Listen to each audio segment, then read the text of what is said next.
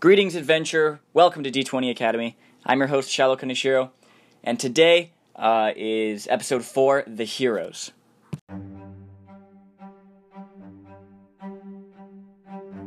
Alright, guys, so today I'm going to be talking about the player characters and their purpose and their relationship with the DM and uh, that dynamic and how that all works uh, with my guest, Gabriel Laidlaw. And I also want to apologize in advance. There is some audio issues um, throughout. Sometimes it will kind of cut in and out. It only does it a couple times. Um, so sorry for that. But I uh, hope you enjoyed the episode. All right, so the heroes. Uh, so yeah, so like I said, we're just today going to be talking about the player characters, what they do, how they're different from the DM, and I'm joined by a guest, Gabriel Laidlaw. You can introduce Hello. yourself. Uh, Gabriel Laidlaw, hit me up. hit me up on the Instagram. Um, but yeah, so today we're just going to be talking about, um, you know, kind of what they do in the game and the point of them and uh, how can they be real, how they can be really fun. Uh, like I've mentioned before, most of my experience with Dungeons and Dragons is as a dungeon master. Um, but Gabe here is definitely the most experienced as a player. He plays in a campaign I run. Most experienced any person ever. most experienced player I've that probably exists on the planet. Um, but yeah, so he he has much more experience as a player than I do, uh, and I think the dungeon master and the player are very different. We have both done the other role a couple times. Uh, he has DM'd a one shot once before. Have you done anything else other than that? I did. I started another like mini Oh campaign, but it never, yeah, like, yeah, yeah, never yeah, did yeah. anything. Yeah, that is true. And that had like two sessions maybe. yeah. And uh, I have been a player a couple times in the aforementioned things you started, Yes. and a couple our other. and you're going to be in one that I'm going to be running this yeah, summer. and so hopefully we'll be going to that also.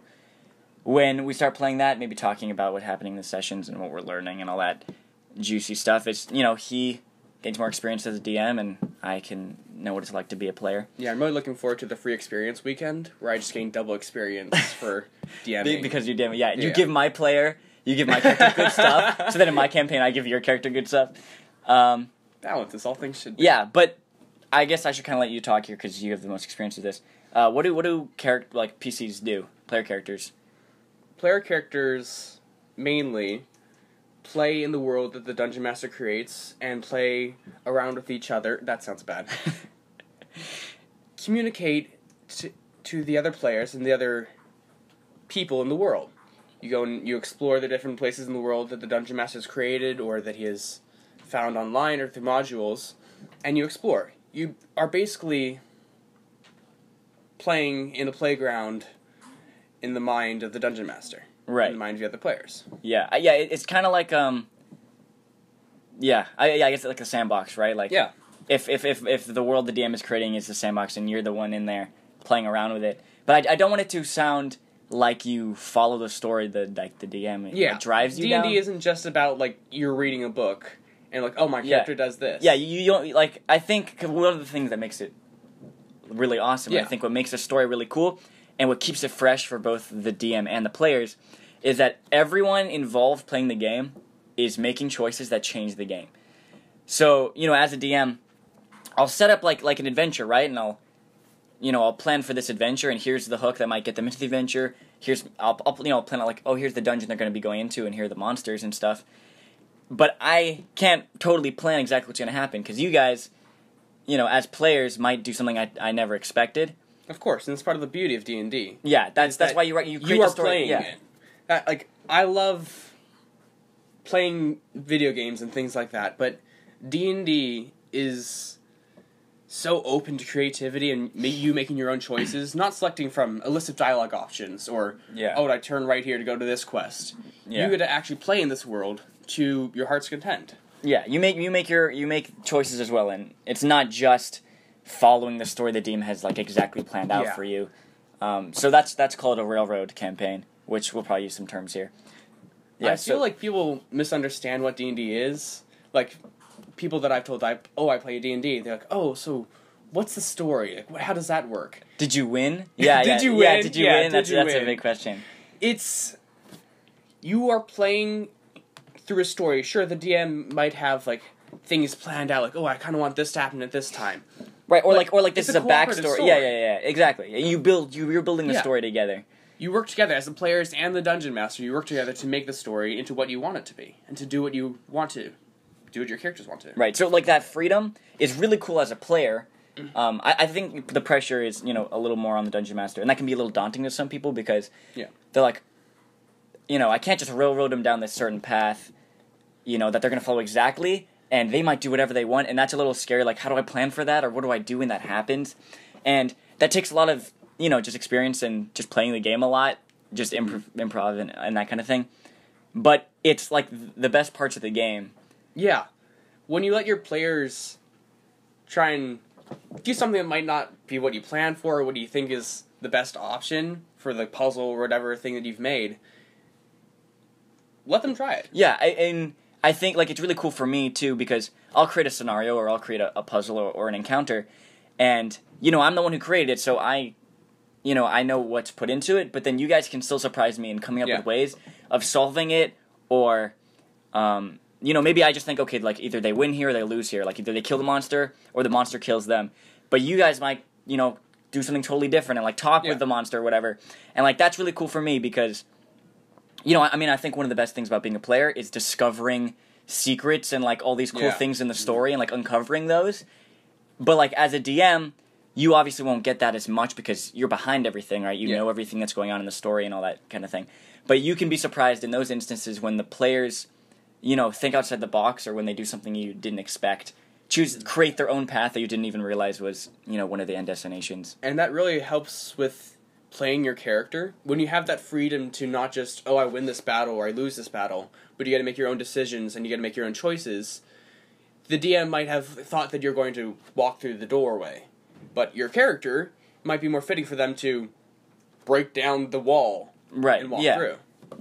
Yeah, I mean, and also, you know, I think being a player is or a PC is much much different than being a DM. Yeah. Also, I want to bring up the point about like the collaborative aspect because as a DM, you are seeing like you're alone in that role. I'm alone. yeah, you're you're no, you're alone in that role, and you're doing, you know, I I mean, it's it's great. Like the DM, some people try like DMing with like multiple people and stuff, and I don't understand how you can possibly do that. That sounds really challenging. yeah, we're not the people. That yeah talk yeah about like you, you, you you like for me at least like you need a singular mind who understands you know the like, Yeah. the way that everything is said and well, they probably do that because they're like illithids, you know. um they, there's a, it's a colony. They have a hive mind. Um you know it, it's much easier to have one mind running those things.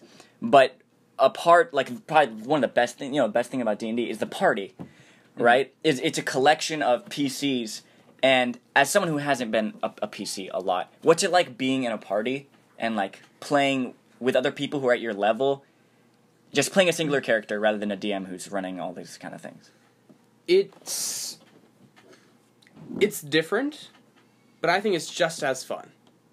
If you are someone who loved fantasy growing up and not just wanted to create your own stories, but be the characters in that story, then playing a character in D and D is perfect for that, in my opinion. You get to experience things as a character in a party with other characters who are doing the same thing. You get to think like, oh, what would my character do do here?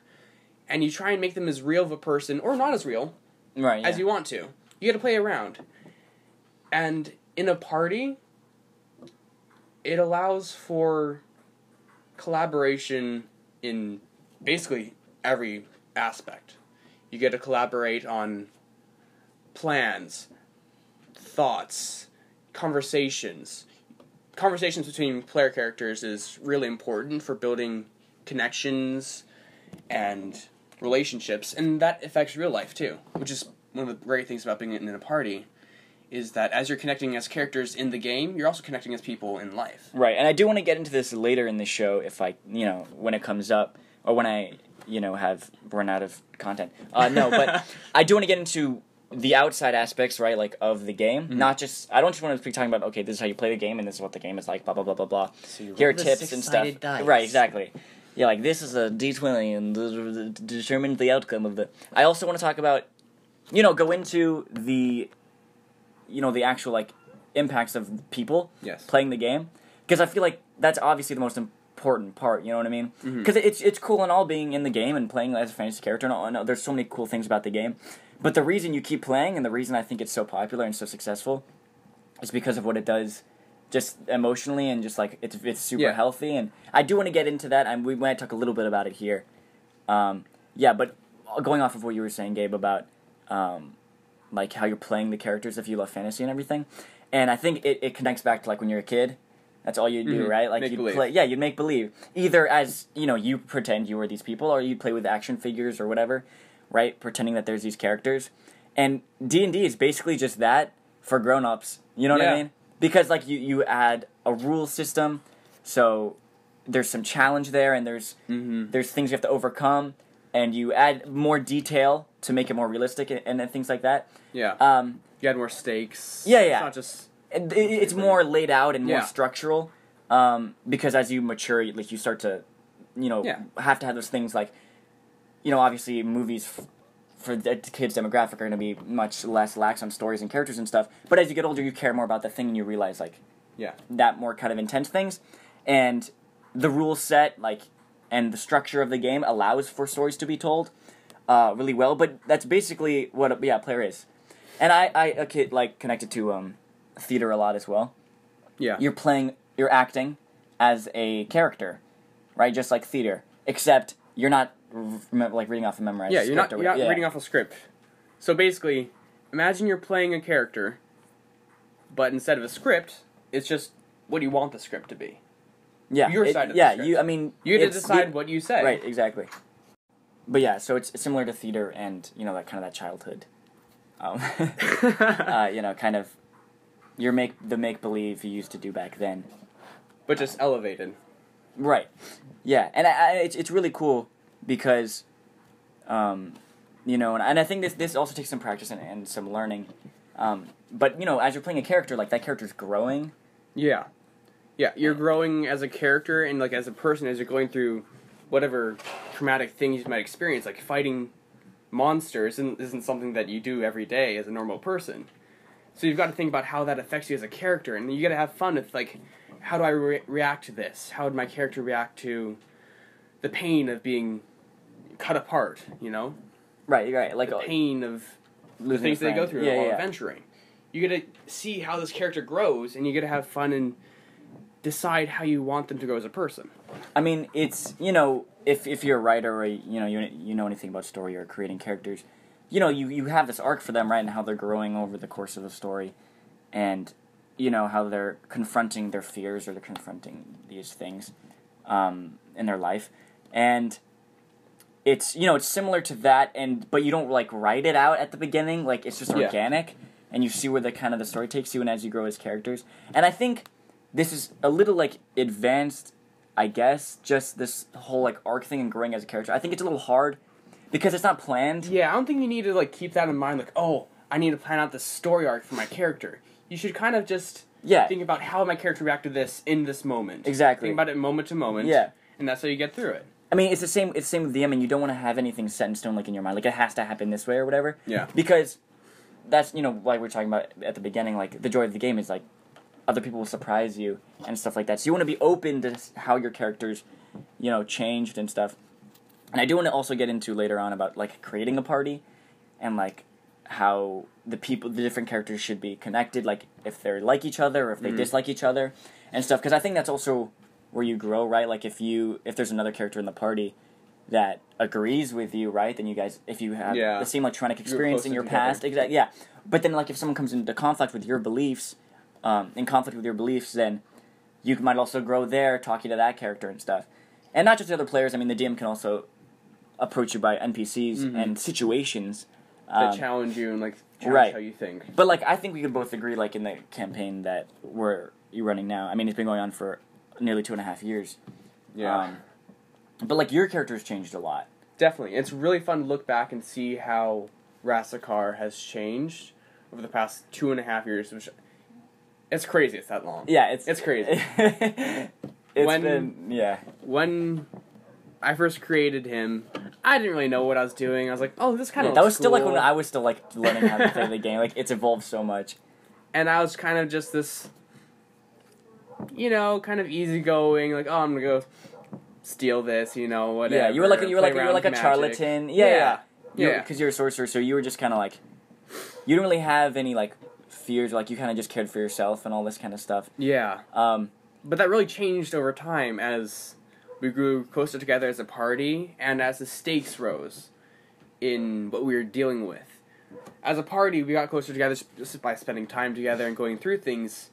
But really, the escalation in events, like, oh, we went from, you know, fighting whatever it is, this small little enemy, to Right. fighting something so much larger, a kraken, and then a dragon, you know? to destroy the world now, Yeah, and, and now like, it's the, the stakes world are really high. It right. really forces you, as a character, to, it really forces the character to change. You know, when that is put on their shoulders, they have to take on a lot more responsibility. And so Rasakar has gone from just a charlatan to someone who's charismatic and trying to be I mean, yeah, he's, de- he's definitely gotten really like darker, much more like yeah, the weight the weight of things and like the pain of the things he experienced. and I like I'm just saying as observing the character um, from playing the game like he's changed so much because at first he kind of just didn't care about things just kind of himself. Mhm. and then that changed when he realized when he met uh, his sister and he's like oh I have a sister now and I need to like I need to protect her now and now like there's a connection there.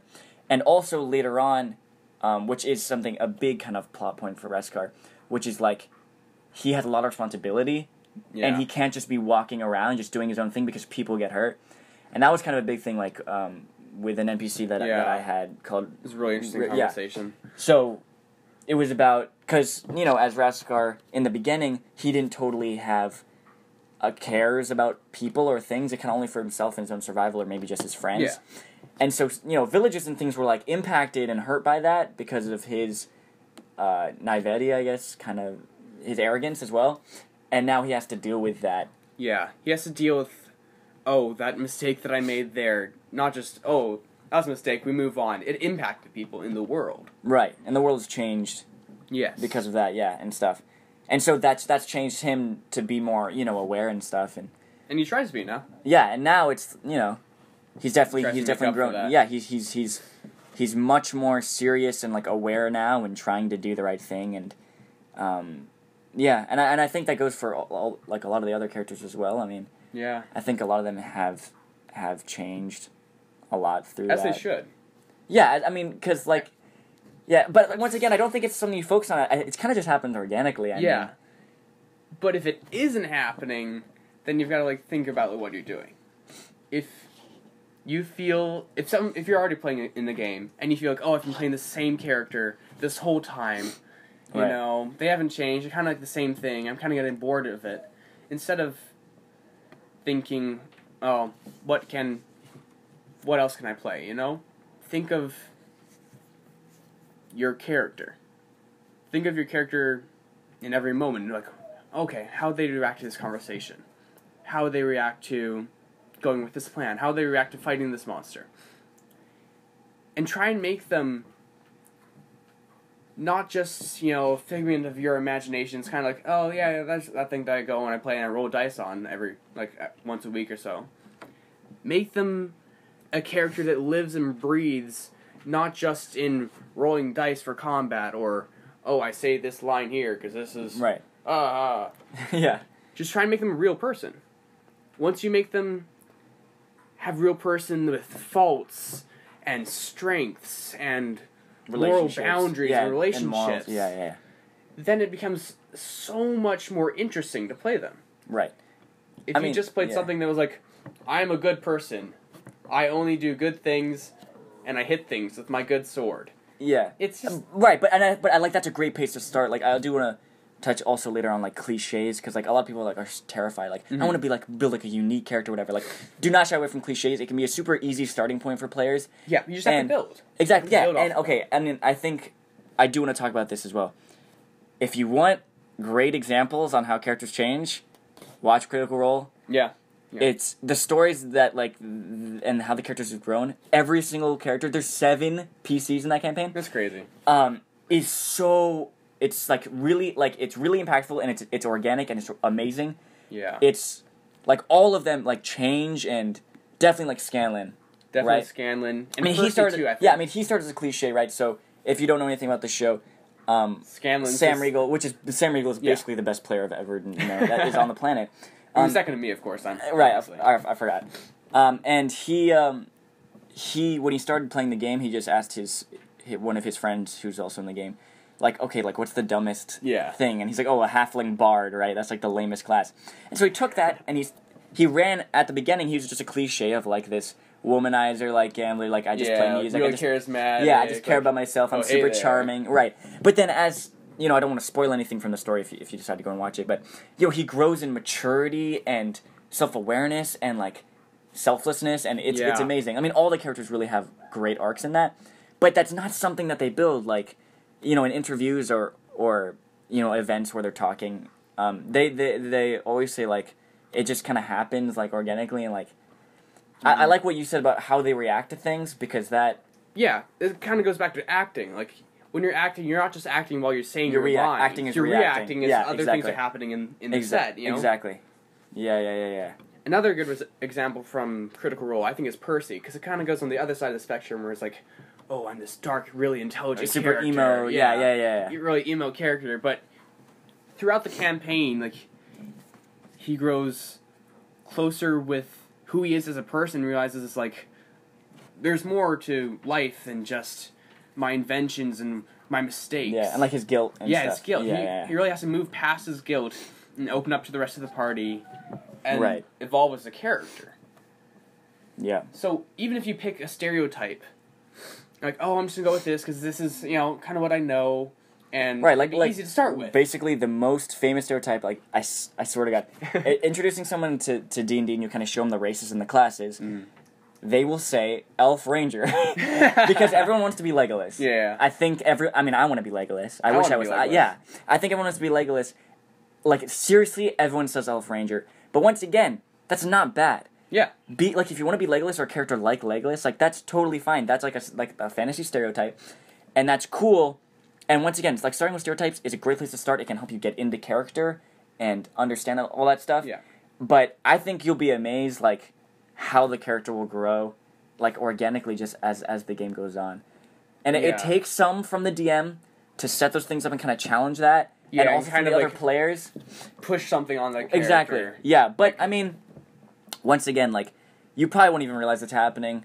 If, if you can, if you can, like you know, really get invested in the game, um, you know, you'll start realizing like, you know, you start acting like it's a real person and stuff. Yeah. Then, because you understand people, right? Because you you're a person, then this is how they grow and this is how they change.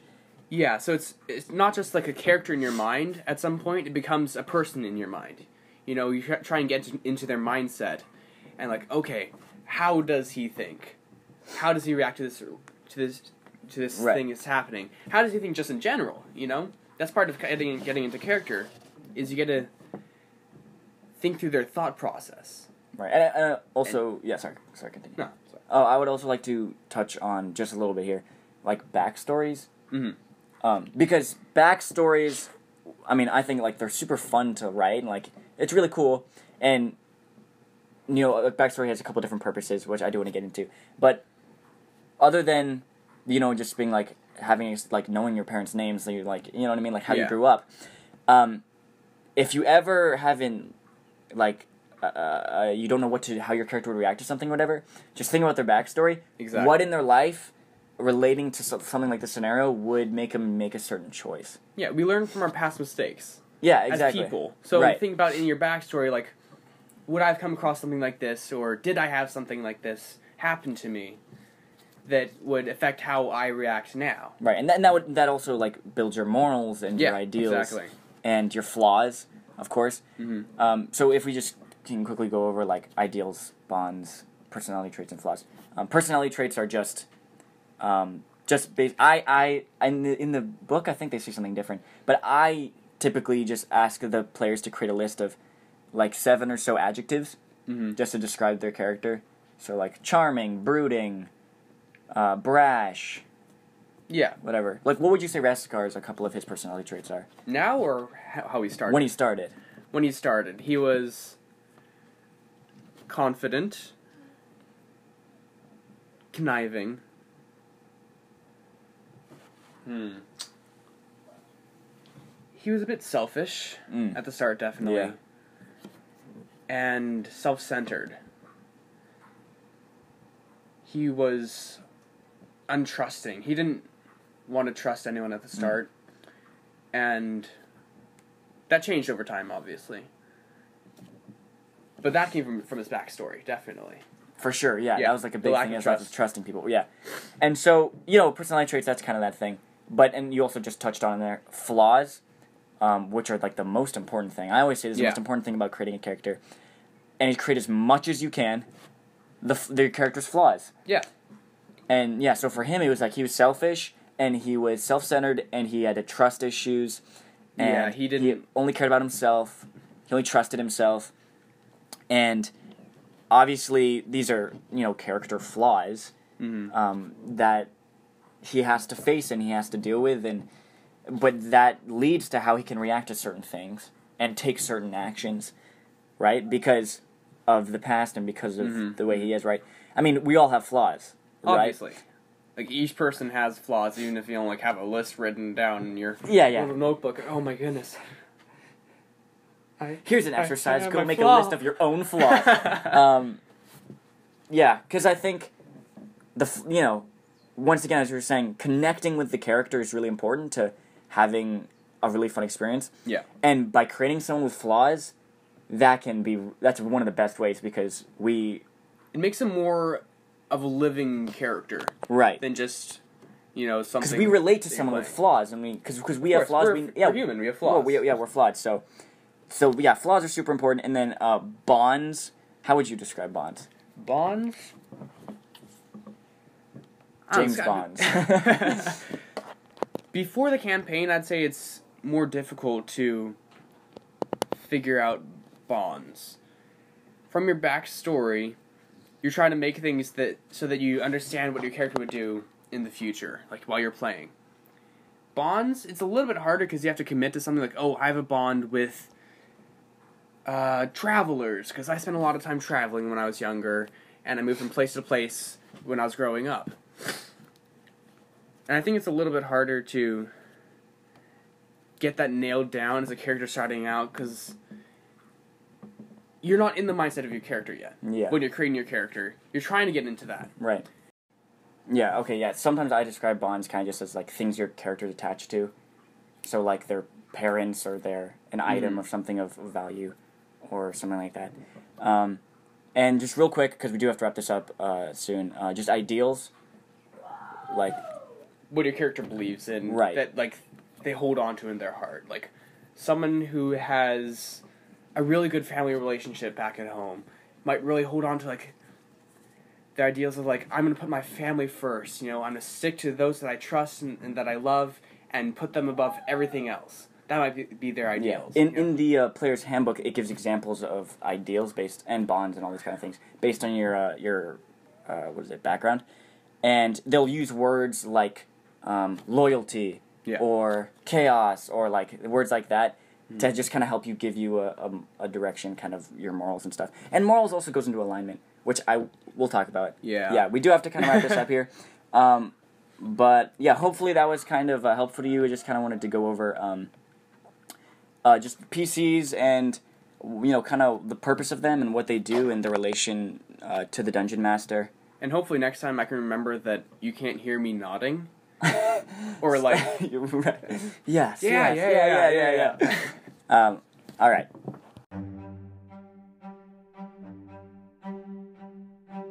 All right, guys. Sorry we had to cut this one a little short, um, but I hope hopefully you got some stuff out of there, uh, and hopefully you like Gabe. Um, I really want to get him on uh, in later episodes as well. Um, but there it is. That's today's episode. Uh, so thank you guys so much for listening.